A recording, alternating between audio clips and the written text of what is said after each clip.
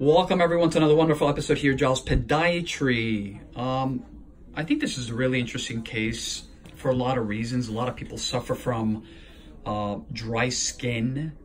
Uh, you know, dry skin in general, some people, you know, may jump to the assumption that it could be either simply dry skin or there's an element of either a dermatological manifestation of unknown reason, unknown etiology. Uh, again, dry skin or fungus, right? If it looks like a duck, quacks like a duck, it may be a duck or it may not be a duck, maybe a swan. So this is a, a, a patient who presented to our office today with severe, severe, severe dry skin. Um, let's go ahead and show everyone the entire, look, look at this in between the, the toes. A, let's, exactly. I mean, he has a, a significant amount of dry, dry skin to the point where everyone can see some of these fissures, right? Um, the patient has has seen in the past that yes, they have these fissures have have essentially, you know, broken and they've opened up and it's really, really uh, uncomfortable as everyone can uh, imagine. And let's go and show everyone. Let's move your left foot a little bit to, there we go, so we can just show everyone here. Um, and at first glance, you know, anyone that would possibly take a look at this clinical presentation will say, oh, that's fungus 100%, right? Oh yeah, without a doubt. But the problem is, again, what we need to do first is identify the problem, right? We identify the problem. How do we do that? We, we perform a shave biopsy, right? When in doubt, punch it. We didn't punch this one, but we shaved, we performed a shave biopsy, not only to the, to the, to the right foot, but also to the left.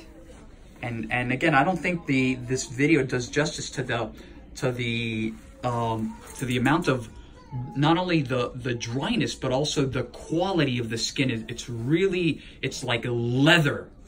And you know um, i'm very happy for this patient coming in today because you know the patient's looking for long-term solutions and and we're going to be able to definitely help them.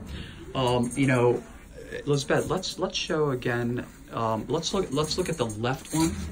Okay let's show everyone here because this is really, really, you can let that go at this point. Now let's separate the toes, yeah.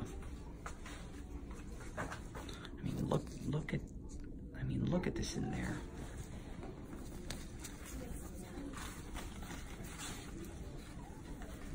Okay, like all of that. That hurts, and it's creating a lot of discomfort and pain. So what we're, again, what we've done is um, we're going to recommend some initial preliminary uh, treatments.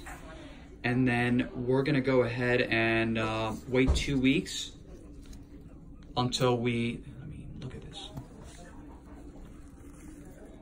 It's like dry chalk. And then in about two weeks, they're going to come back um, and then and then we're going to make further recommendations as necessary. So again, um, you know, we do treat a lot of dermatological manifestations um, here at Jaws Podiatry. You know, here in the um, in the state of Florida, uh, we're able to treat. Uh, a lot of people have asked in the past, you know, what is a what is a podiatrist uh, doing uh, treating uh, dermatological problems? And and we do that. We are essentially experts uh, when it comes to anything below the knee, at least in the state of Florida, we're able to treat all aspects of foot, ankle, and leg problems, including dermatological manifestations.